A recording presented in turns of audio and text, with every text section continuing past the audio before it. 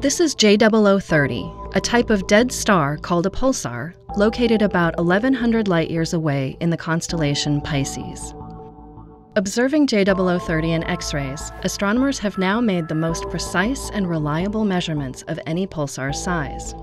And they've discovered that J0030's appearance differs dramatically from textbook depictions.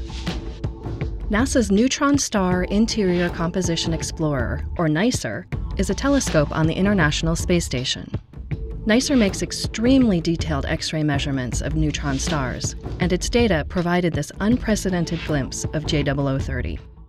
A neutron star is the crushed core of a massive star that exploded in a supernova. Pulsars, like J0030, are rapidly spinning neutron stars that sweep beams of energy across our line of sight, much like a lighthouse. A pulsar is so dense that its gravity bends the fabric of space time around it. NICER's precise X ray measurements allow scientists to take advantage of this effect to see light from the far side of the pulsar. This is a pulsar sized object about 16 miles across, but with much less mass. We only see light from the side of the object nearest to Earth. But as its mass increases, the object warps space time and acts like a lens to show us light from the far side.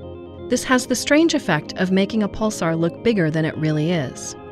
The more mass an object of a given size contains, the more it distorts space-time, and the more we see of its far side. Textbooks show pulsars with two hot spots on the surface, directly opposite each other at the magnetic poles. As the pulsar spins, the spots come in and out of view, creating regular changes in its X ray brightness. If the pulsar's mass is low, the spots disappear when they rotate to the far side. But if the mass is high enough, the hotspots may never completely disappear. Using NICER data, two teams of scientists examined different models for the shapes and even the number of hotspots on J0030. Both arrived at the same conclusion. The pulsar is around 16 miles across and about 1.4 times the Sun's mass.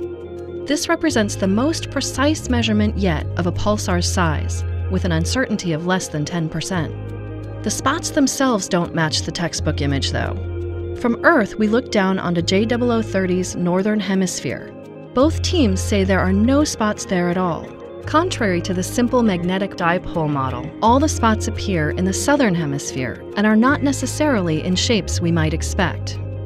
One team, led by researchers at the University of Amsterdam, suggests J0030 has one small circular spot and another long crescent shaped one.